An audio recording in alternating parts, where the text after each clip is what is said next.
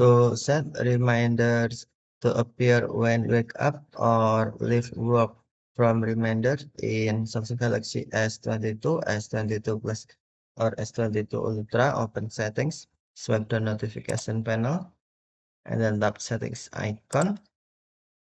Scroll down settings screen, find privacy, and then tap privacy.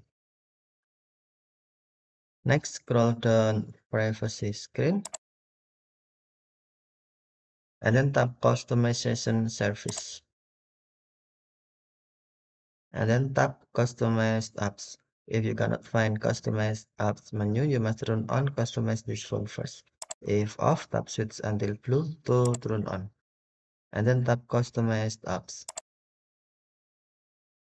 Scroll down the screen, find reminders, and then on reminders tap switch until blue to set reminders to appear when you wake up or leave work. Okay thank you for watching. Have a nice day